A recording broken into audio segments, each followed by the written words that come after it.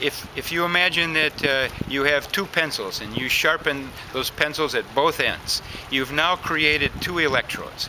And if you attach the tops of these two ends, these sharpened pencils, to a 9 volt battery and you stuck them in water and added a little salt, uh, like sodium chloride table salt, you would actually see bubbles coming off one electrode and bubbles coming off the other electrode. And you would have oxygen molecules coming off one and hydrogen coming off the other. That's called water splitting, and that's electrolysis. So what's going into the engine is the fuel and an oxygen-hydrogen mixture coming from the electrolyzer.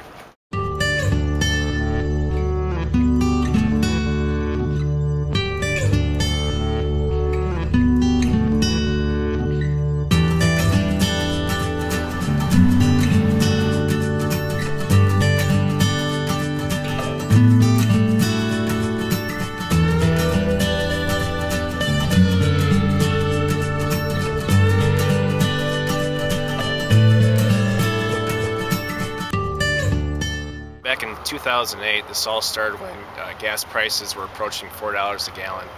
Um, so we, we decided that we needed to do something to combat the fuel costs. Uh, our fuel system are out here. There's two 10,000 gallon tanks. Uh, one is diesel, one is no lead. And this is one of the reasons that we're, we're trying to work with this technology. I, I get a, a, tanker load of fuel uh, about every week and a half. Uh, so that's between seven and 10,000 gallons of fuel. We got uh, a little over 300 pieces of equipment currently. When you when you use the hydrogen fuel cells on these vehicles, uh, hydrocarbon particles per million drop tremendously. So there's a lot less pollution coming out of the exhaust. Uh, that's due to a clean combustion and uh, because of the, the, the added hydrogen to the combustion cycle.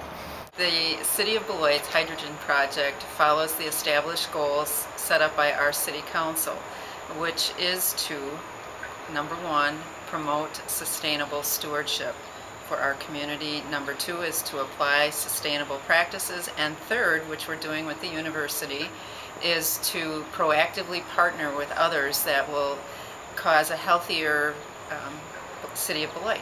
Uh, our main goal is obviously fuel economy, to increase fuel economy in all of our fleet vehicles, and also to reduce our emissions.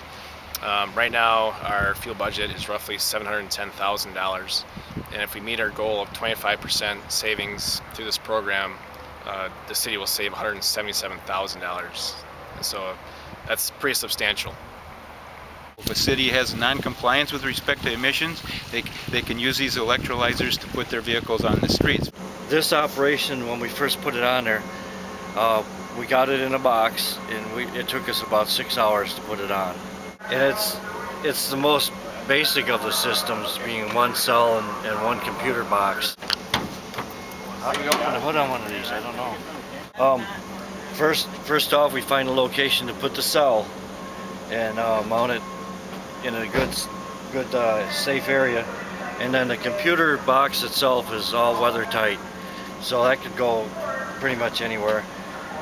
And then the electronics, there's an electronic controller that's in the cab controlling amperage and um, some of the other parameters that we have for the cell. Okay, what we have after that is the, uh, we're installing the, the tubing which runs through the cell, through the water bottle, the circulation bottle, and then out and through to the uh, intake manifold.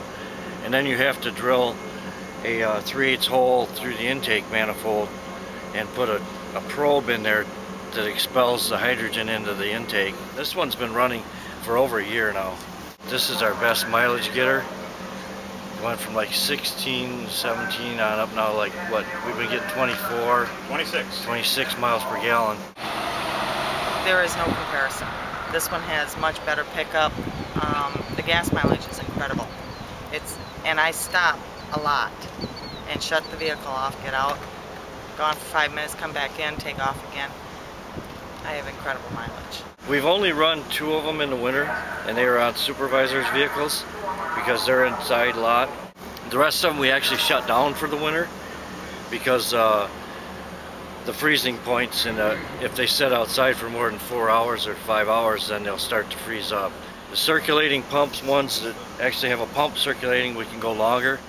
It basically, it use, they use about a a Dixie cup full of water a week, as, as almost all of our systems do. Uh, we currently have uh, five test vehicles in our system that we're testing different types of hydrogen systems on. We monitor all these vehicles uh, every week as to the fuel mileage. Uh, we do emission readings on them. We do base readings, then we do periodic emission readings uh, throughout the year. Uh, one of the vehicles is actually got a dry cell hydrogen fuel cell in it with a coating process that has been applied by the university. What we do is we make um, self-assembly nanoparticles. So um, after we make the nanoparticles, what we then do is coat them on a substrate. So here's an example of a, of a carbon substrate. And what happens is, is if you take these, this substrate and then coat it with the nanoparticles, you can dramatically uh, improve the performance of the substrate by having the nanoparticles um, on, the, on the electrode.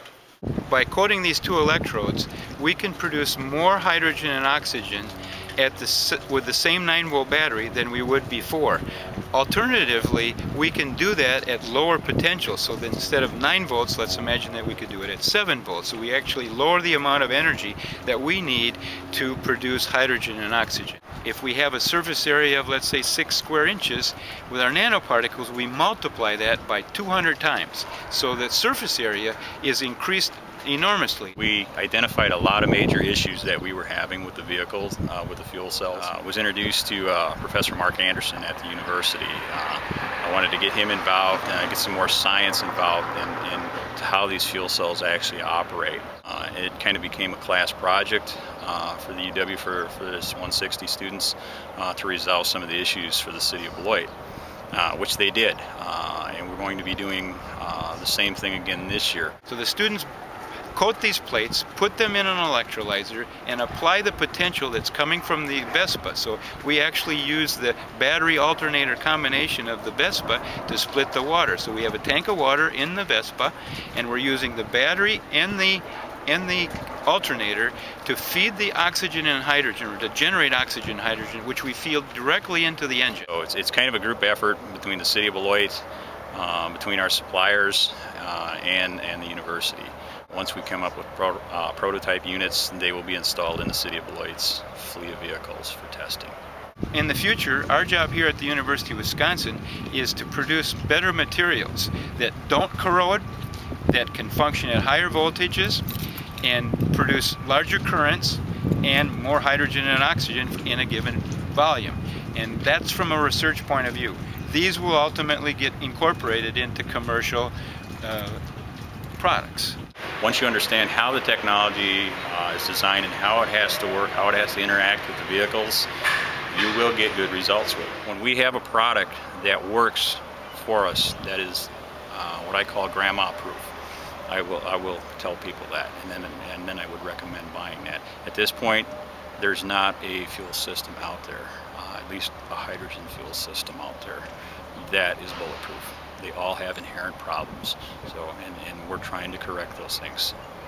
We look at the, the system or this project to be able to help our city financially and environmentally. So if the hydrogen project can help us in those two areas, it more than does what we set out to do.